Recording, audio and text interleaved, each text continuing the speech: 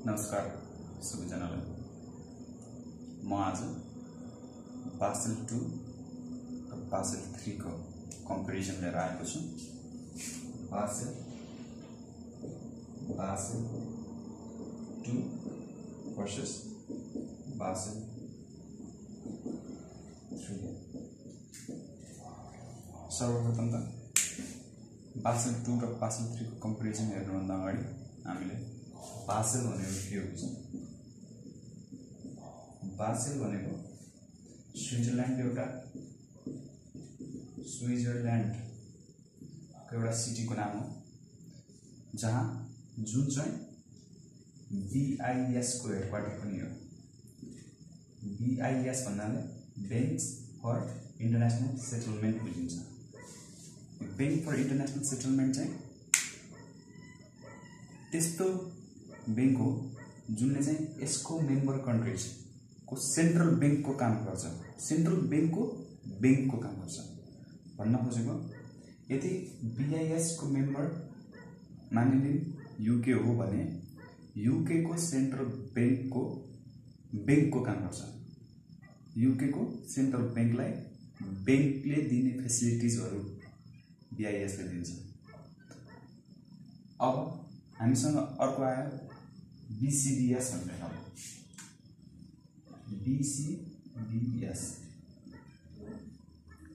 B C B S भनेको Basel committee on banking supervision यो यस्तो एउटा कमिटी हो जुन चाहिँ जी टेन राष्ट्र जी टेन राष्ट्रका गभर्नरहरूले मिलेर बनाएका हुन्। यो ब्याङ्कहरू टाढ पल्टिरहेका थिए त्यति बेलाको समय हो नाइन्टिन सेभेन्टी फोरतिरको समय हो। त्यति बेलाको समयमा क्राइसिसहरू देखा परेको थियो ब्याङ्क्रप्सीहरू भइरहेको थियो। ती कुराहरूलाई मिनिमाइज गर्ने उद्देश्यका साथ बिसिबिएसको फर्म भएको थियो। जी टेन कन्ट्रिज त्यति बेलाका ग्रेट टेन कन्ट्रिज भन्छन् ले फर्म गरेको हो यो बिसिबिएस भन्ने।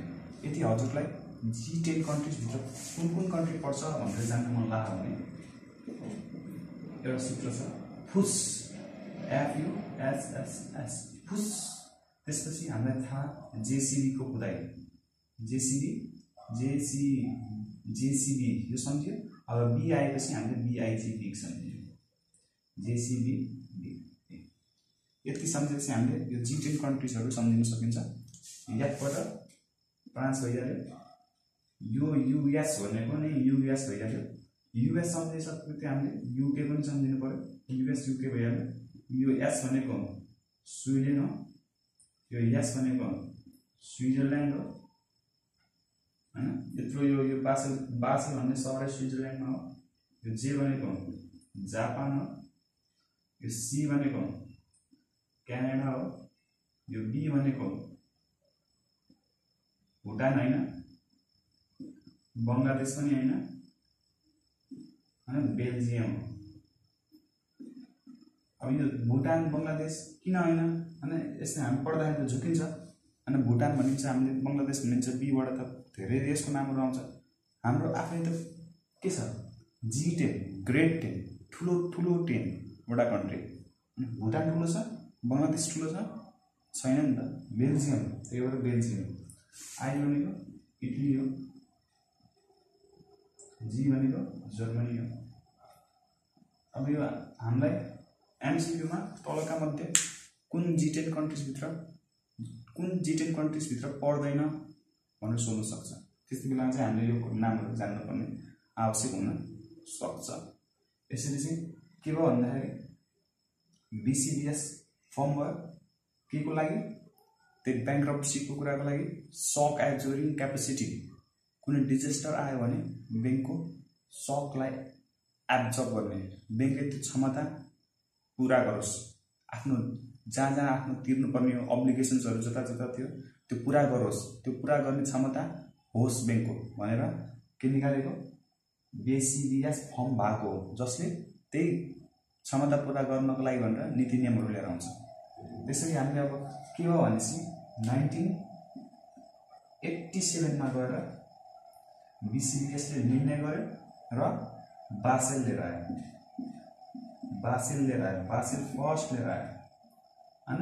नाइन्टिन एट्टी एटमा गएर बासेल फर्स्ट केमा इम्प्लिमेन्ट इम्प्लिमेन्ट भयो। कहाँ इम्प्लिमेन्ट भयो? त्यो जी टेन कन्ट्रिजमा। जी टेन कन्ट्रिजमा बासेल फर्स्टलाई इम्प्लिमेन्ट गर्यो। त के रहेछ त बासेल एकर्ड भनेको? बासेल एकर्ड भन्ने या बासेल नर्म्स भनेकै त्यस्तो नीति नियमहरू हो। Those norms policies guidelines which make sure that the bank absorb the shock and pay its public obligations during the time of crisis होइन? क्राइसिसको समयमा ब्याङ्कले आफ्नो दायित्वहरू पुरा गरोस्। सक एक्जर्भ जुन सक ब्याङ्कले बिहोर्नुपर्छ त्यो सकलाई एब्जर्भ गर्न सकोस् र आफ्नो फङ्सन्सहरू एकदम सही तरिकाले गर्न सकोस् भन्ने नीति नियमलाई नै हामीले के भन्छौँ बासेल भनेर भन्छौँ त्यसरी अब अब हामीले यो बासेलको टर्म बुझिसकेपछि बासेल भनेको के हो बुझिसकेपछि अब हामी बासेल टू र बासेल थ्रीको डिफ्रेन्सतिर जाउँ आजको हाम्रो भिडियोको मुख्य topic Basel two versus Basel three. Basel two versus Basel three. अब बासेल टू हेर्नु त कहिले आएको जुन छब्बिस दुई हजार चारमा आएको यो कहिले यो रिभाइज कहिले भयो? इम्प्रुभड रिभाइज हुँदा नि। इम्प्रुभड कहिले आयो? नोभेम्बर दुई हजार पाँचमा।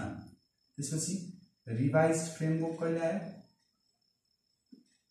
फ्रेमवर्क कहिले आयो? जुन दुई हजार छमा। अब बासेल फेरि कहिले आयो? डिसेम्बर दुई हजार दसमा।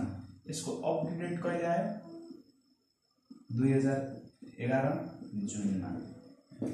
एउटा डिफ्रेन्स हामीले यो लेख्न सक्छौँ। बासेल टू कहिले आयो र बासेल थ्री कहिले आयो भनेर अब बासेल टूको अर्को नाम आइसिसिएम सिएस। आइसिसिएम सिएस भनेर सम्झिन्छु मैले चाहिँ। अब यो भनेको also known as I C international convergence convergence international C O N con B R C E N C E convergence हुन्छ है? International convergence of capital management and capital standard होइन? याद गर्नलाई सजिलो हुन्छ भनेर मैले के गरेँ? आइसिसिएम सिएस भनेर पढेँ। ठिक छ? International convergence for capital management होइन? इन्टरनेसनल कन्भर्जेन्स अफ हो of capital management and capital standard revise framework पनि छ अझ पछाडि। यो भनेर हामीले बासेल टूको अर्को नाम हो। अब बासेल थ्रीको अर्को नाम? Or regulated framework or regulated framework or regulated global framework a regulated global framework for more resilient banks and banking system. Basel थ्रीको अर्को नाम के रहेछ regulated global framework for resilient resilient resilient banks and banking system अब त्यस्तै गरेर अर्को three नम्बरमा हेर्ने भने बासेल टूले बासेल सेकेन्डले तिनवटा क्यापिटल भन्छ। Tier one capital tier two capital tier three capital होइन? तर यहीँ हाम्रो बासेल थ्रीले के भन्छ? दुईवटा क्यापिटल भन्छ। क्यापिटल के कतिवटा हुन्छ भन्छ? बासिन टूले क्यापिटल चाहिँ कतिवटा हुन्छ भन्छ? बासिन थ्रीले दुईवटा हुन्छ। टायर वान क्यापिटल र हाम्रो टायर टू क्यापिटल यसरी हामीले यो तिनवटा डिफ्रेन्स लेख्यौँ अहिलेसम्म अब बासिन थ्री सेकेन्डले चाहिँ क्यापिटलको डेफिनेसन क्लियरली दिएको छैन होइन के हो के हो अब बासिन थ्रीले चाहिँ के भन्छ स्ट्रिक्ट डेफिनेसन अफ क्यापिटल भन्छ यो पोइन्ट हामीले पनि एड गर्न सक्छौँ यसरी तिनवटा पोइन्ट भयो अब अब यसलाई मेटाइदिन्छु मैले यो तिनवटा पोइन्ट भइहाल्यो। अब बाँकी एक आर एकअर्कासँग रिलेटेड सा त्यही भएर सुरुबाट लेना मेटाएर।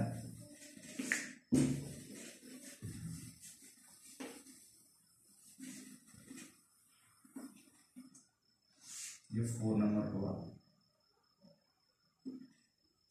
अब बासिल टू ले जाएँ ratio of common equity to रिक्स वेटेड एसेट कति भन्छ भन्दाखेरि टु पर्सेन्ट भन्छ।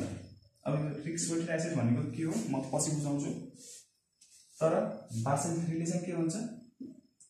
फोर पोइन्ट फाइभ पर्सेन्ट भन्छ। त्यस्तै गरेर ratio of